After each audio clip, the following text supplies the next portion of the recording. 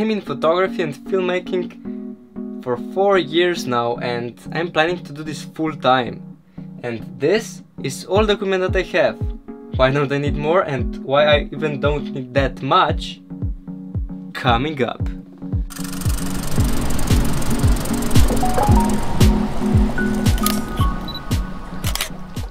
So next to this I actually have only this cheap tripod for 20 bucks and stuff that you see and nothing else. So if you just started with photography, you probably got yourself a decent camera with a kit lens and then you would probably get obsessed with the zoom of the lenses, which I did and bought this one. So this is a 75 to 300 millimeter lens, which I planned to use a lot as a street photographer because I saw that like this at the time, I don't now by the way, and I've planned to use it for my animal photography and wildlife photography in general because I wanted to use this zoom without interrupting, you know. But it turned out that I don't really need it and I've used it few times other than that, not worth it. So after that, 75 to 300 millimeter, where I was obsessed with the zoom, I quickly realized that I need a lens that would be quicker and I bought this 50mm 1.8 lens and it's amazing. It cost only a hundred dollars so it's one of the cheapest lenses and one of the best lenses as well in my opinion because you can open it to 1.8 aperture so a lot of light coming in you can shoot in low light conditions and it's really for everything. It's perfect portrait lens because you get that blurred background. And it's like for everything. I've used it for my travel videos for my film for my for a wedding that I shot, for portrait photography, really anything that you can imagine, I've did it with that lens. It will be your favorite lens, believe me, if you don't have it already, link in description. I would buy only this one if I would be buying again, but I really recommend this, like this is a must-have if you're taking photography seriously. After that, that was actually my last lens and then I moved to accessories because I soon realized that lenses are way too expensive for me so I for example bought that cheap tripod from internet I guess from eBay for a buck and a half I believe.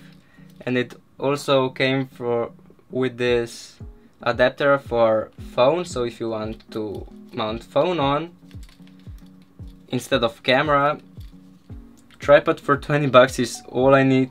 I don't need like a tripod for hundreds or thousands of dollars which I've used before and the only difference is that pants are smooth other than that hundreds of bucks saved the camera that I'm using and the camera that I'm actually shooting this on right now is Canon EOS 7D which is actually my only camera that I ever owned and I'm super happy with it. So from the picture perspective I need no more than my 7D but I would like to upgrade my video quality so for videography for making films and stuff. So I need video camera not like another camera which I already have so I'm happy with that one. Well Battery grip comes in handy, but only if you're making like long photo shoots or once again if you're shooting videos on your camera, so that can come in handy as well as the second battery. Then a drone, I would consider a cheap drone like this for beginners and then upgrade if needed, otherwise hundreds of dollars saved. So there I have my bag for my camera, I fit in my camera, one lens and one additional lens as well as some additional things like additional battery or some props. Another thing that I was hiding back there from the beginning is actually this.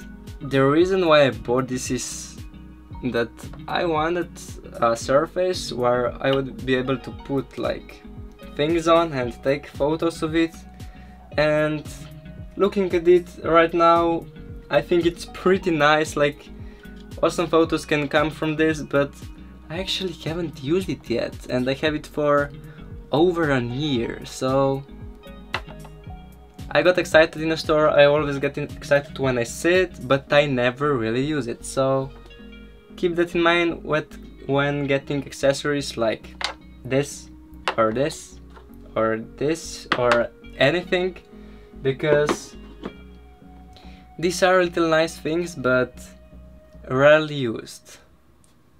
So yeah, don't spend a lot of money on them.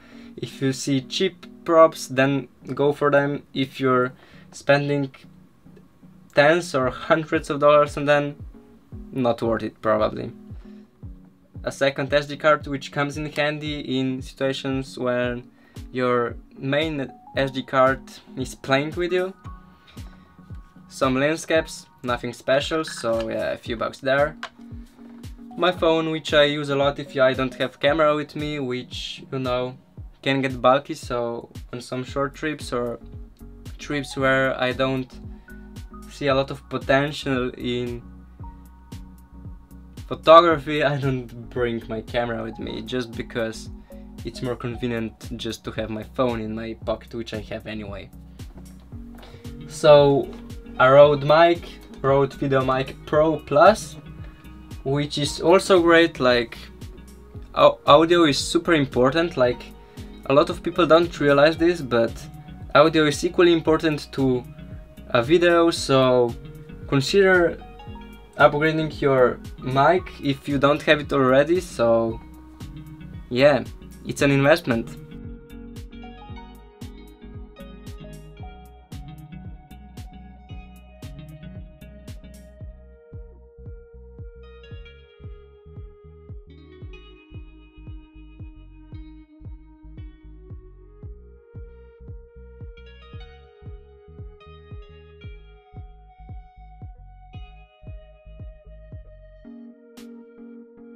If you want to learn even more, make sure to subscribe, check my other videos and please give this video a like. It would really help me a lot. See you on the next one!